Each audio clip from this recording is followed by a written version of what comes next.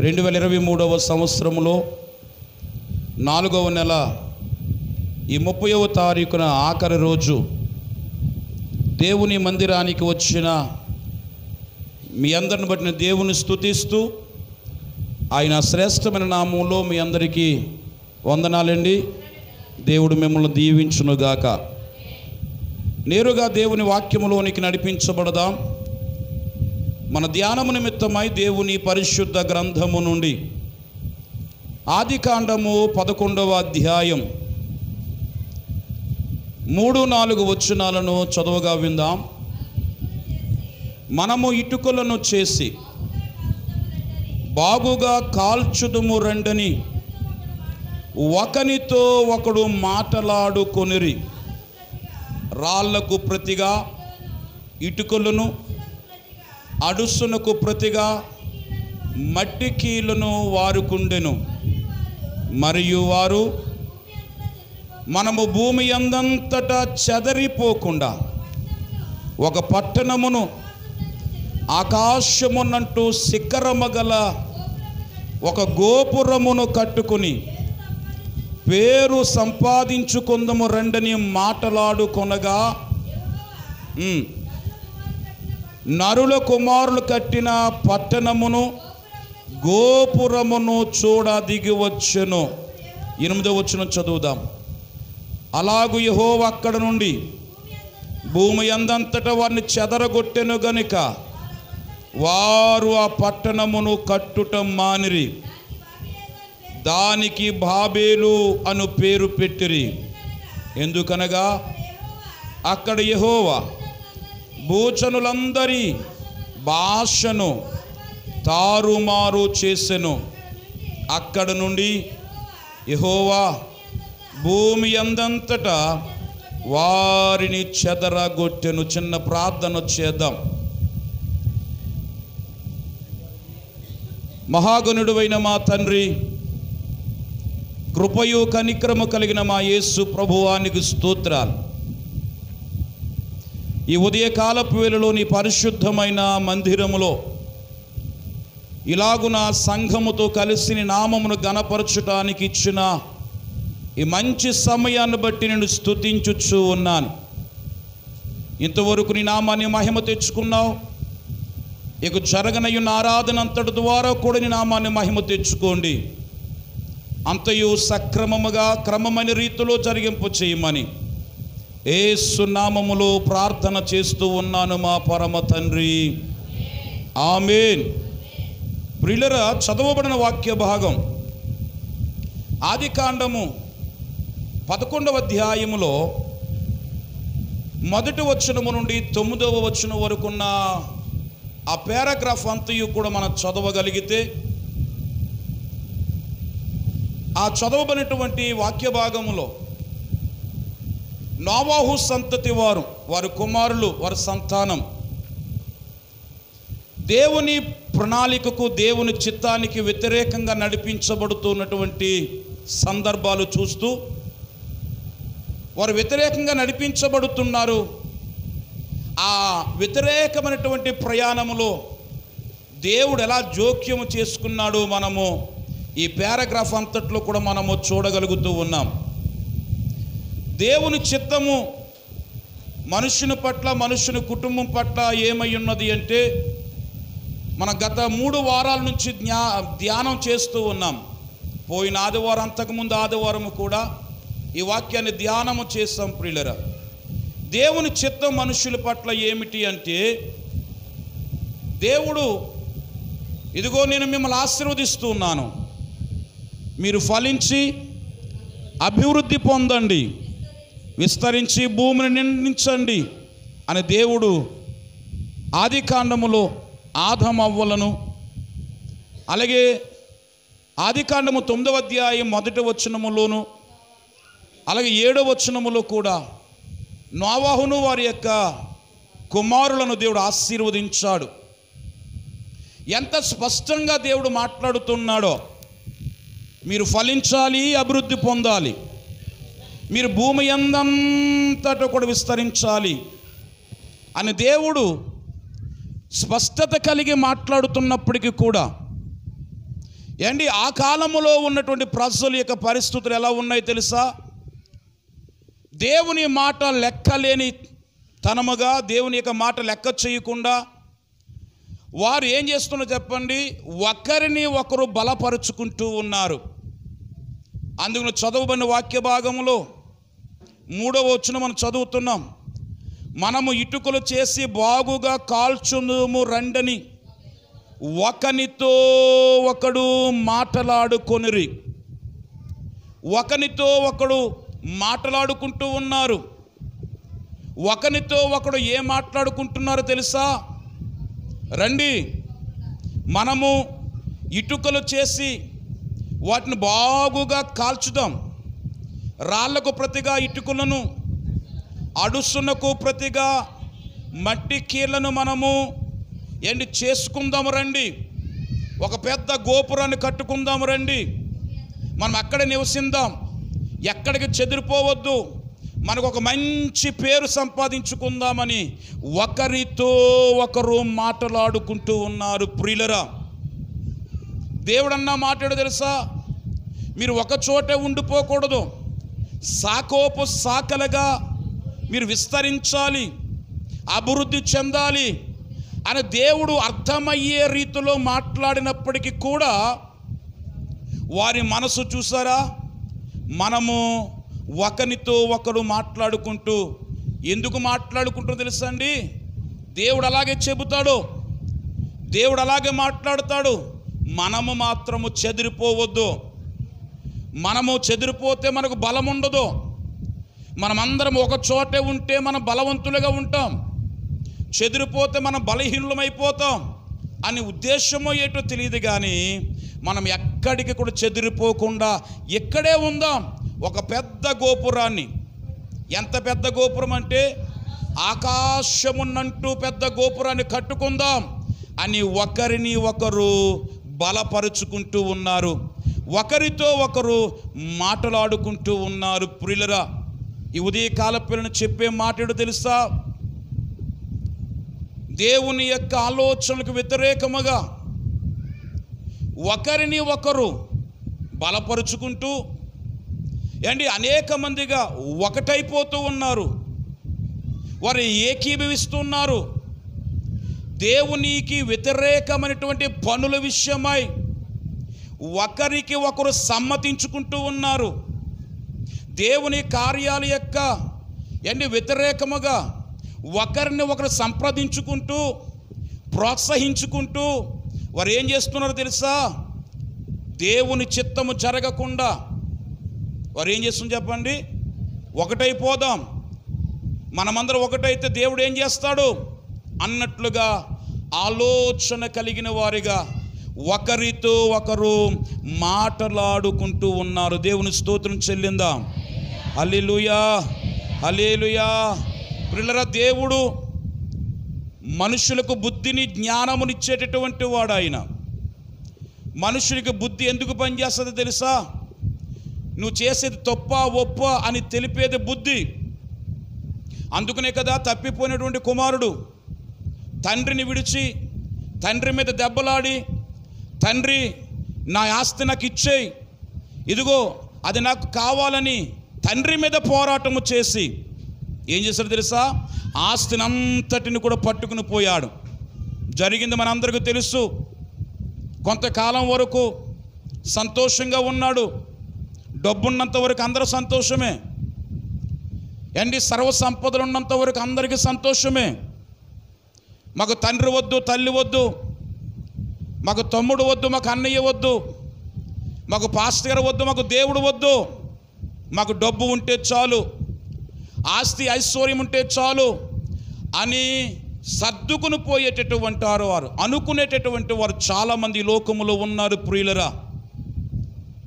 అన్నీ సౌఖ్యంగా ఉన్నప్పుడు ఎదుటి వారితో ఎలా మాట్లాడతారో తెలుసా? నీవంటే నాకు ఏట్రా? నువ్వంటే నాకు లెక్క? అన్నీ ఉన్నాయి. సర్వము ఉంది బలము ఉంది ధనము ఉంది ఐశ్వర్యం ఉంది అంతయుంది ఉంది. ఎదుటి వారిని లెక్క చేయకుండా మాట్లాడేటటువంటి వారు చాలామంది ఉన్నారు.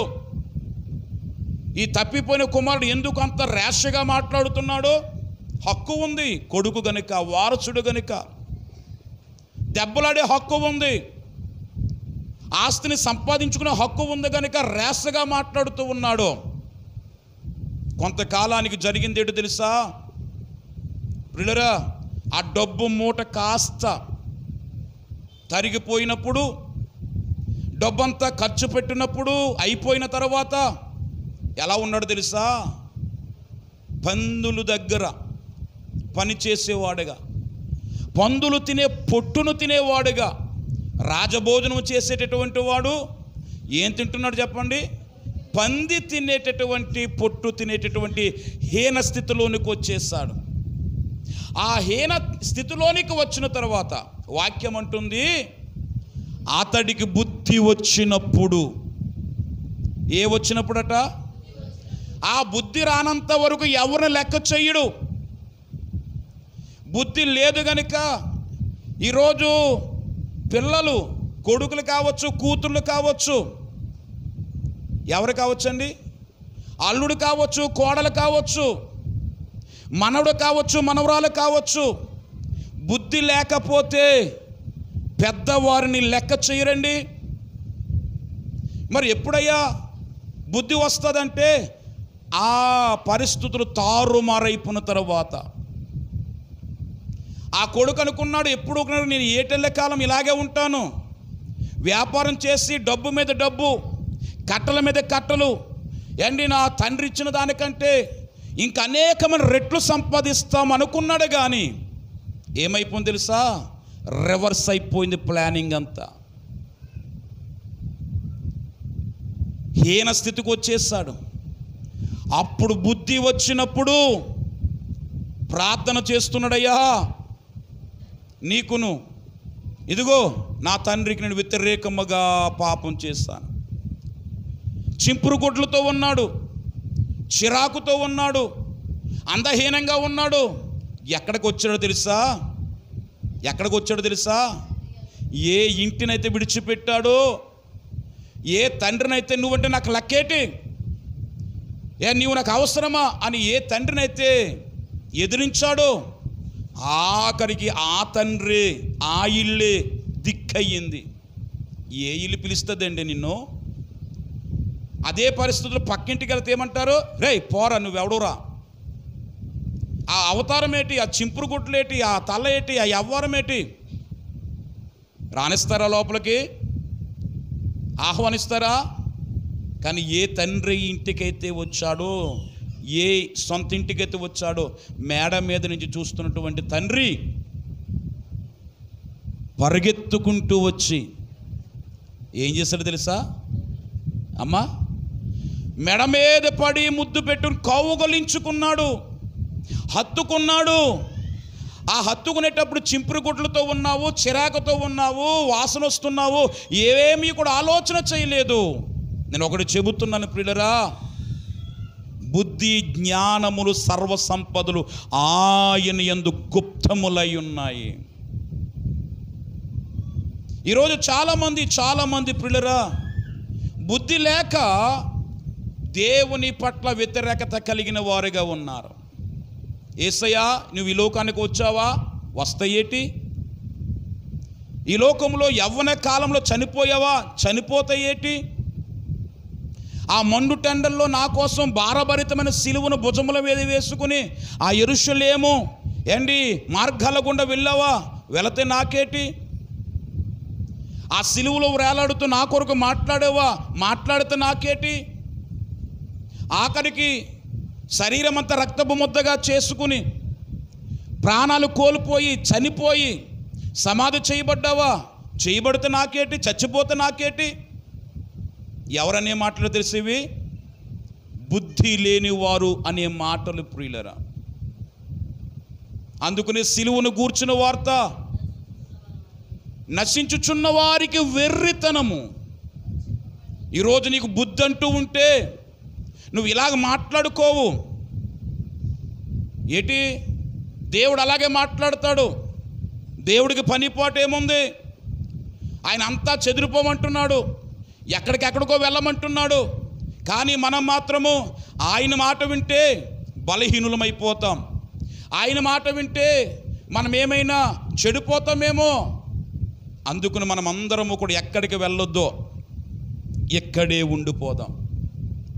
ఇక్కడే ఉండిపోదామని ఒకరిని ఒకరు ప్రోత్సహించుకుంటూ ఉన్నారు బలపరుచుకుంటూ ఉన్నారు. ఒకరితో ఒకరు మాట్లాడుకుని అవును కదా మనం ఇక్కడే ఉండిపోదాం ఇదే చేద్దాం ఒక గోపురాన్ని కట్టుకుందాం అని అందరూ ఏకీభవించారు.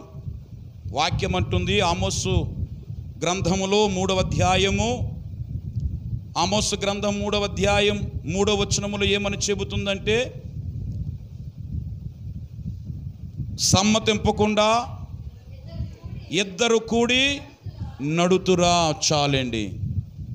ఏమంటుంది వాక్యము? సమ్మతింపకుండా ఇద్దరు కూడి నడుస్తారా? మరి అంతమంది ప్రజలు ఒకటిగా ఏ ఒకటిగా అయిపోవడానికి గల కారణం తెలుసా? ఒకరికి ఒకరు సమ్మతించుకున్నారు ఒకరినొకరు బలపరుచుకున్నారు ప్రియులరా. వారందరూ ఏకీభవించారు ఒకటైపోయారు. మనమందరం ఒకటైతే దేవుడు ఏం చేస్తాడు? అన్నట్లుగా మాట్లాడుకున్నారు. కానీ ఒక మాట చెబుతున్నాను. దేవుని సన్నిధిలో ఆయన వాక్యానికి మన వ్యతిరేకముగా ఎంతమంది ఉన్నప్పటికీ కూడా అమ్మా ఎంతమంది ఉన్నప్పుడు కూడా ఎంతమంది పోగైనప్పుడు కూడా ఆయన చిత్తములో ఉన్నటువంటి ఒక వ్యక్తిని దేవుడు వాడుకుంటే ఏముంటో చెప్పండి? దేవుడు మహిమ పరచబడతాడు గొల్యాతు వచ్చి అందరిని ఎదిరిస్తూ ఉన్నాడు. ఇస్రాయిల్ను దూషిస్తూ ఉన్నాడు. మీలో మగతనం ఎవరికైనా ఉంటే పౌరుషం ఎవరికైనా ఉంటే రండ్రా నాతో యుద్ధము చేయండిరా. నన్ను ఓడించండి నన్ను గెలవండని ఎవరో గొల్యాతు శవాలు విసురుతూ ఉన్నప్పుడు ఇస్రాయిలు ఏం చేసేవారు చెప్పండి? వచ్చేవారా ముందుకి పారిపోయేవారు. దావీ దగ్గర ఆ ప్రాంతానికి వచ్చినప్పుడు ఆ మాటలు విన్నప్పుడు రక్తం మరిగి ఇదిగో జీవము గల దేవుని సైన్యమును దూషించుటకు వాడు ఎంతటి వాడు? వాడెంతటి వాడయ్యా? నా దేవుని దూషించడానికి వాడికి ఎంత ఎంత వాడు ఎంతటి వాడు? ఇదిగో నేను వాడిని చంపి వాడి దేహాన్ని ముక్క ముక్కలుగా నరికి ఆకాశ పక్షులకును భూజంతువులకును ఆహారముగా విసిరివేస్తాను. అందరూ పారిపోతున్నారు. ఈడు అంటే దావీదు కూడా పారిపోవచ్చు కదా? అందరం లేని బాధ నాకెందుకులే అని దావీదు కూడా వెనక అడుగు వేయొచ్చు కదా? దావీదటండి దేవుని హృదయాను సారుడు. దేవునికి ఒక్కడ చాలండి. నమ్మకముగా పనిచేశాడు ఒక్కడ చాలు. దేవుడు తన నామాన్ని మహిమపరుచుకుంటూ ఉంటాడు. మీరందరూ కూడా ఒకటే అవ్వద్దు. దైవ సేవకు మీరందరూ కూడా ఒకరినొరు ప్రోత్సహించుకోవద్దు. ఒకరినొరు పురుకొల్పుకోవద్దు. ఇదిగో మనం అది చేసేద్దాం ఇది చేసేద్దాం అన్నట్లుగా. ఏంటి? సేవకునికి వ్యతిరేకంగా నువ్వు ఒకటి ఒకటి అయిపోతున్నావా? సేవకునికి వ్యతిరేకంగా అనేక మందిని పోగేసుకుంటున్నావా? అలాగ పోగేసుకున్నారండి. ఏమైపోయింది తెలుసా? భూమి నెరల విడిచి ప్రాణాలతోనే మింగేసింది. అవద్దు దేవుని చిత్తానికి ఎవ్వరు కూడా ఒకటిగా వ్యతిరేకంగా మారొద్దు. వారు ఏం చేస్తుంది తెలుసండి ఒకరికొకడు మాట్లాడుకున్నారు. ఎందుకు మాట్లాడుకున్నా తెలుసా? రెండ్రా గుళ్ళోకి వెళదాం రెండ్రా పాటలు నేర్చుకుందాం రెండ్రా ప్రార్థన చేద్దాం రెండ్రా దేవుని పరిచయం చేద్దాం రండి సువార్త ప్రకటిద్దాం రండి సేవకుని బలపరుద్దాం. రండి దేవుణ్ణి మహిమపరుద్దాం. రండి మనమే కాదు అనేక మందిని దేవునిలోనికి రప్పిందాం అని ఇటువంటి మాటల వారు ఒకరికొకరు మాట్లాడుకుంటా. ఏండి ఇలాంటి మాటలు వారు మాట్లాడుకున్నారు? కాదు దైవ చిత్తానికి వ్యతిరేకముగా ఒకరికి ఒకరు మాట్లాడుకునేటటువంటి వాతావరణం ఇక్కడ మనం చూస్తూ ఉన్నాం. ప్రియమని సహోదరి ఎవరి మనసు ఎవరికి అర్థం కాదు. నీ మనసులో ఏముందో ఎవరికి అర్థం కాదు. ఒకవేళ దేవుని పరిచర్యకు కానీ దేవుని వాక్యానికి కానీ దైవ చిత్తానికి వ్యతిరేకంగా నీ హృదయములో ఆలోచనలు పుడుతున్నాయేమో. వింటున్నారా? దేవుని చిత్తానికి వ్యతిరేకంగా నీ హృదయంలో ఆలోచనలు ఏంటి పుడుతున్నాయేమో? అక్కడితో ఆపేయి చేదైన వేరు ఏదైనా మొలిస్తే దేని వాక్యం ఏమంటుంది? పెరికివై దాన్ని పెంచి పోషించొద్దు. నువ్వు దైవ చిత్తానికి వ్యతిరేకంగా అడుగులు వేస్తే ఆఖరికి ఏమైపోతుంది తెలుసండి? నీ బ్రతుకు తారుమారైపోతుంది. ఏదో చేసేద్దాం ఏదో సాధించేద్దాం. దైవ చిత్తానికి వ్యతిరేకంగా నేను వెళతాను అన్నట్లుగా వెళ్ళావా? ఏమైపో తెలుసండి? దేవుడు ఊరుకునేవాడా? గాడిదతో బుద్ధి చెప్పించాడు ఎవరికి? అమ్మా బిలాముకు. గాడిద వచ్చి ఏ గాడిద అయితే బిలామును మోస్తుందో అదే గాడిద మానవ స్వరము దేవుడిచ్చేస్తాడు గాడిద మాట్లాడుతుందండి బిలాముతో. అర్థమవుతుందా? ఎప్పుడు నీ మనస్సులు ఇటువంటి తలంపులు పెట్టుకోవద్దు పెట్టుకోవద్దు. అవసరమైతే ఆలోచన వచ్చాయి. ఇంకా ఈ పరిచర్ని ఎలాగ మన వృద్ధులోనికి తీసుకురావాలి? ఇంకా అవసరమైతే ప్రార్థన వచ్చాయి ప్రభువా. నేను వెళ్ళకపోయినా నాకు తెలిసిన వారిని అనేక మందిని ప్రోత్సహిస్తాను. నీ నామము మహిమపరచబడాలి. మా గ్రామములో నీ నామము అవమానపరచబడకూడదు. అలాంటి ఆలోచన కలిగి ఉండి దేవుడు ఈ రోజు కాకపోయినా రేపైనా నిన్ను ఏం చేస్తా చేసా ఆశీర్వదిస్తాడు. ఆశీర్వదిస్తాడు. ఒక మాట చెబుతున్నాను ప్రియులరా వారు ఒకరితో ఒకరు మాట్లాడుకుంటుంటానంటే ఒకరికి ఒకరు వారు ఏకీభవించారు. అలా ఏకీభిస్తున్నావేమో? ఒక మాట చెబుతున్నాను వినండి. ఈరోజు నువ్వు ప్రార్థనకు వెళ్ళకరా మనం ఎక్కడికో వెళదాం. అన్నాడు అనుకో. నువ్వేం చేయాలి చెప్పండి? ఏకీభిస్తావా? తృణీకరిస్తావా? ఆ మాట నువ్వు తృణీకరించు. రే ఈరోజు ఆదివారం అయ్యుండి ఈరోజు ప్రార్థన టైం అయ్యుండి ప్రార్థన సమయం అయ్యుండి ఎక్కడికి వెళ్తానంటే వీటరా? అక్కడ తర్వాత వెళదాం. ముందు ఎక్కడికి వచ్చేద్దాం? గుళ్ళోకి వచ్చేద్దాం. రా. ఏంటి ఏకీభవించొద్దు. దేవునికి వ్యతిరేకమైనటువంటి పనులలోనూ మార్గాలలోనూ ఒకరు ఏకీభవిస్తే తుదకు నువ్వు ఏ పంటకు వస్తావో తెలుసా?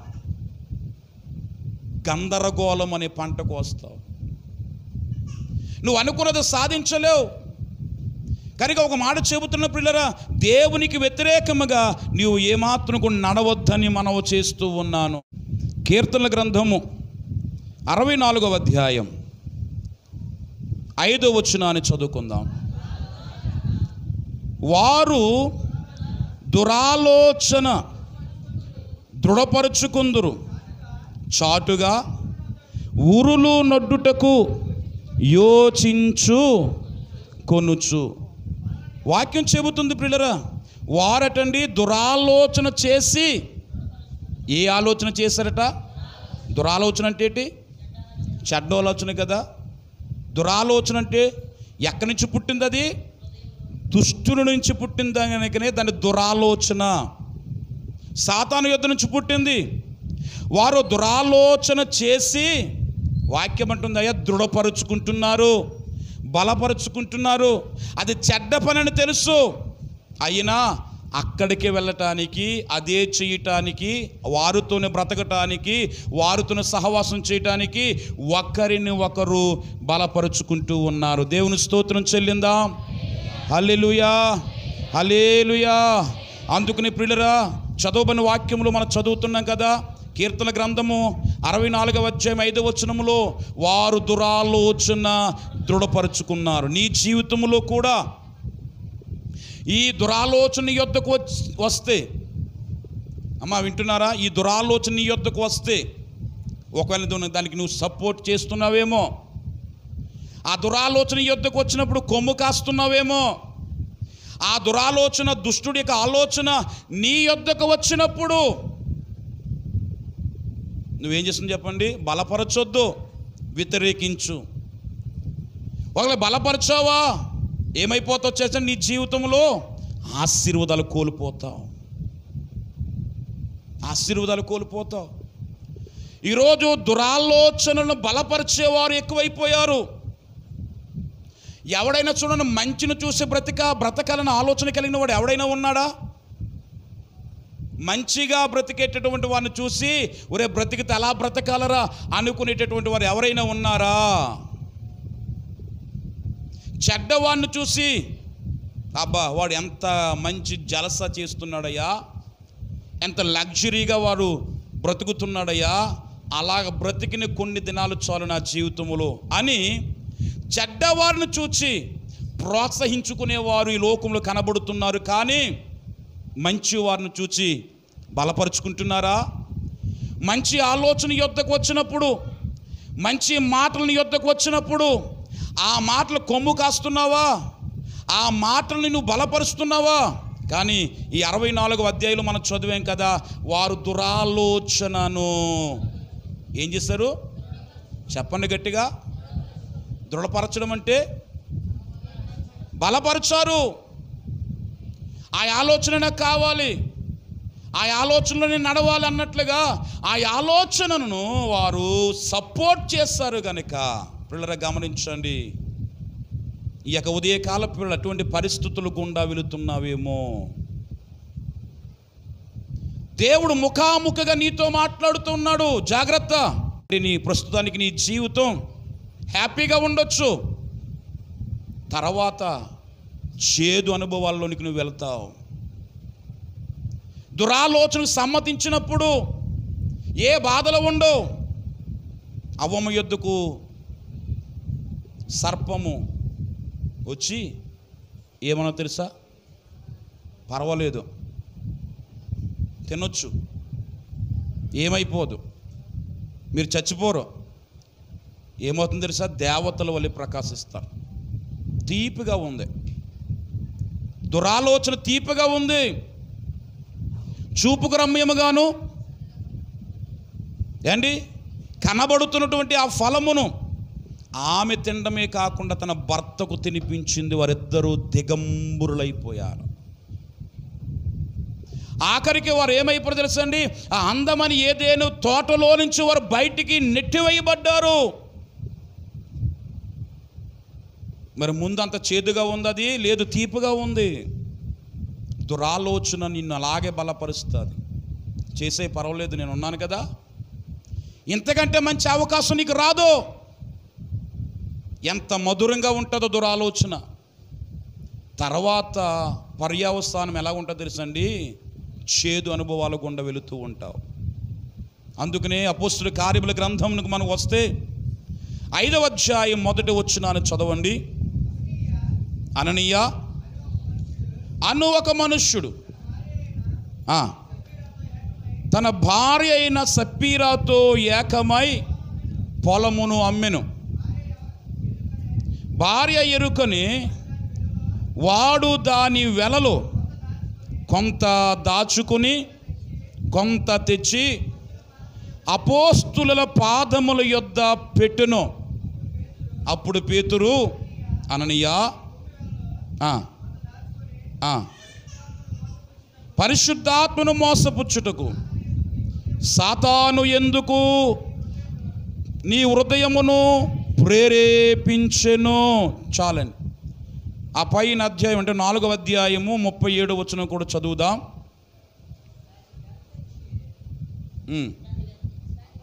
ముప్పై ఆరు వచ్చిన కానించి. కోప్రాలు ఆ కుప్రలో పుట్టిన లేవీడగు ఏసేపు అను ఒకడుండెను అతనికి అపోస్తులు హెచ్చరిక పుత్రుడు అని అర్థమిచ్చు భర్ణబా అను పేరు పెట్టియుండిరి.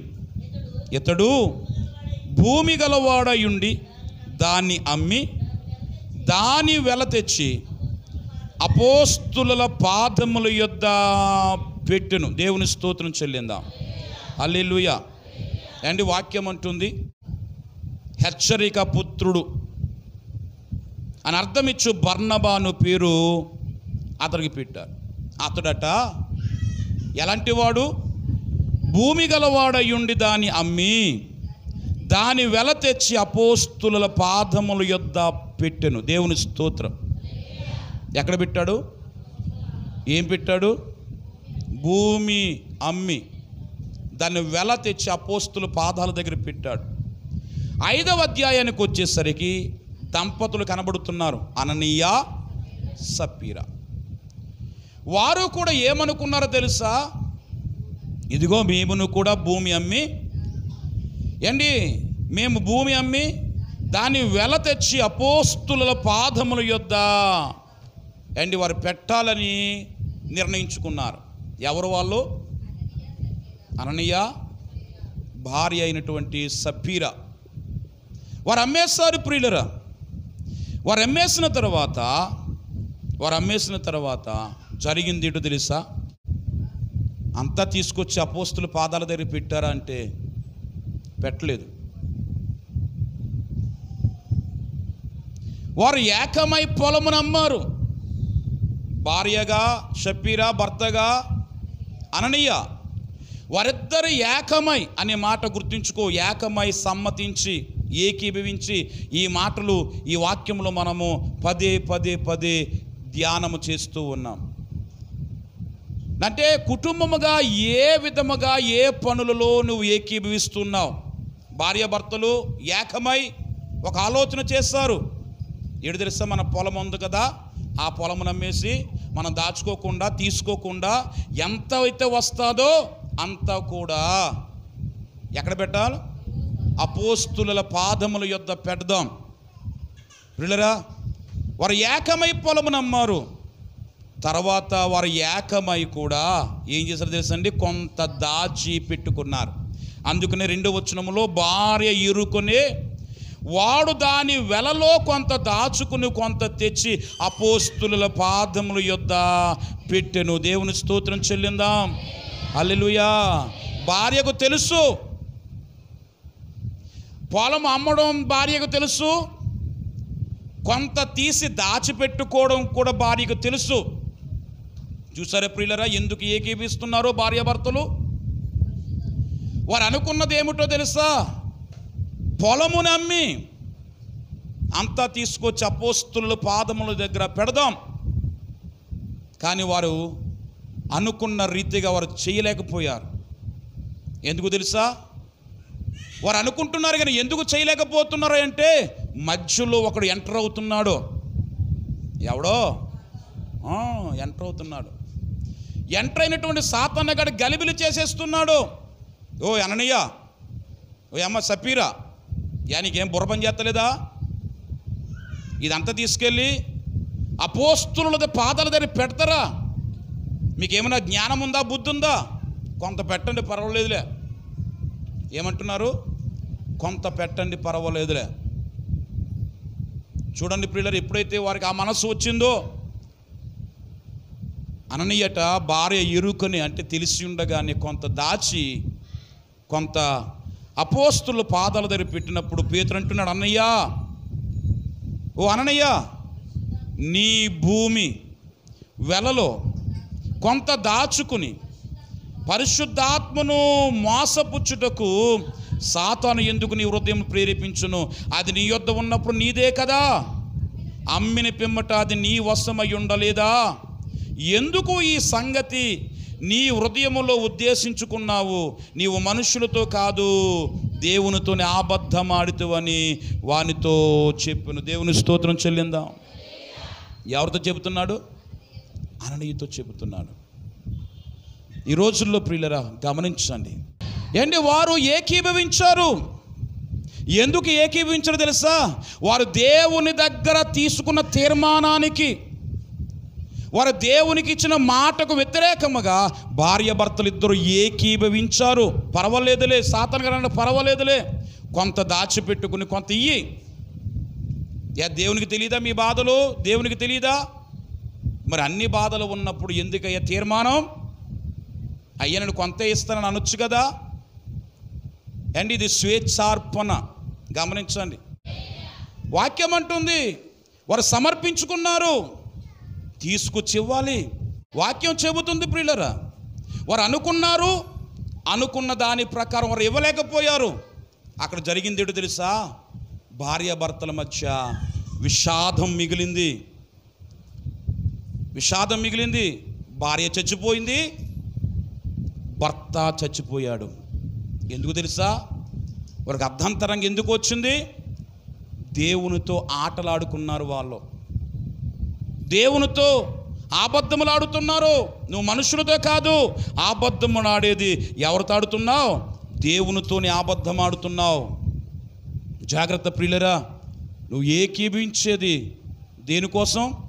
చెడ్డదాని కోసం ఏకీవిస్తున్నావా మంచిదాని కోసం ఏకీవిస్తున్నావా ఈరోజు ఇచ్చేవారిని కూడా ఇవ్వకుండా చెడగొట్టే వాళ్ళు చాలామంది ఉన్నారు? అయ్యో అవు నువ్వు అంత ఎత్తేస్తేలాగా అంత ఇచ్చేస్తేలాగా నాకు సిగ్గేస్తుంది. ఏమీ లేనోడు నువ్వు అంత ఇస్తావు అన్నీ ఉన్నాను నేను నేను ఇంకెంత ఇవ్వాలి? ఇచ్చేవాడిని కూడా వెనకకు లాగేవారు ఉన్నారండి. ఇవ్వకుండా చేసేవారు ఉన్నారు. ఒక మాట చెబుతున్నాను నువ్వు నిశ్చయించుకుంటున్నావు గనక ఖచ్చితంగా ఇచ్చి తీరాలి.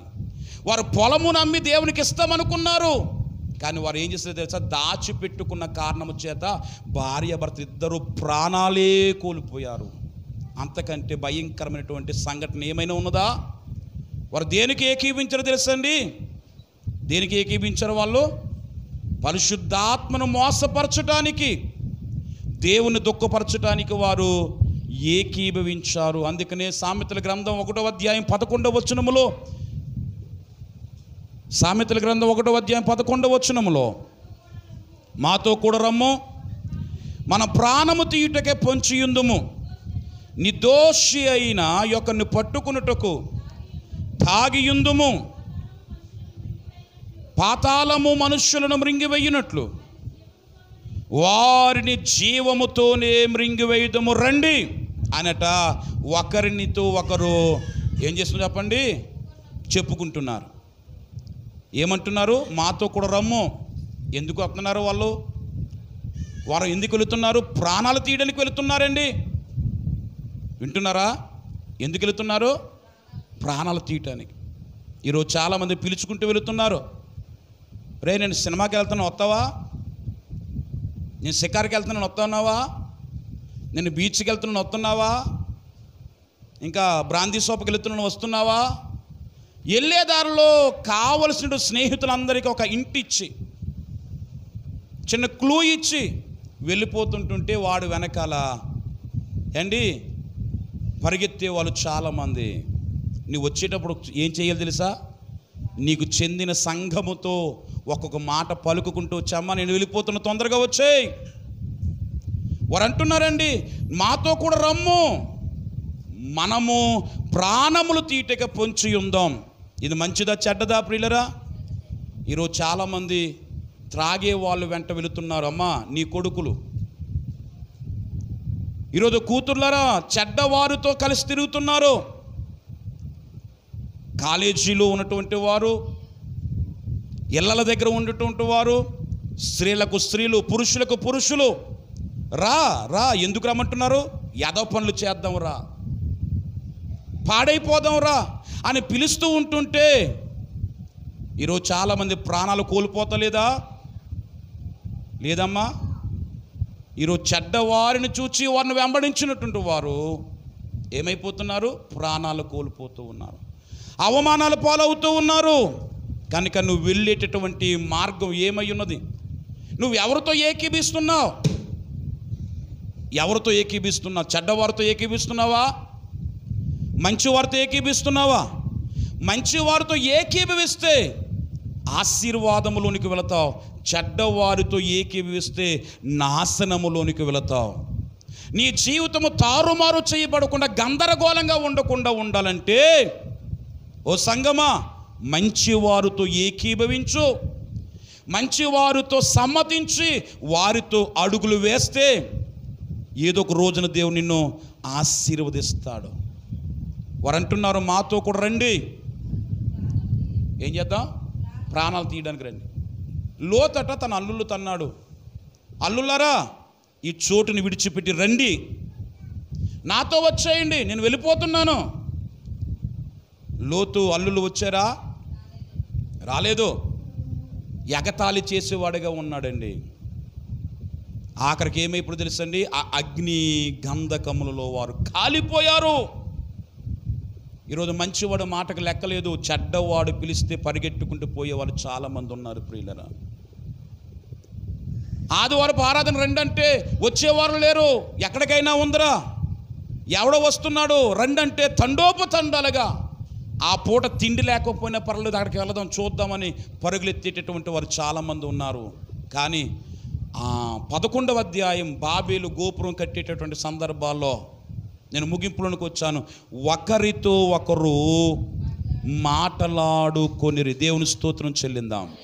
హలేలుయా ఏంటి తొంభై ఐదవ కీర్తన ఒకటో వచనం. తొంభై ఐదవ కీర్తన ఏడో వచనాన్ని కూడా చదవండి. రండి. ఏడో వచనం చదవండి అమ్మా. రండి.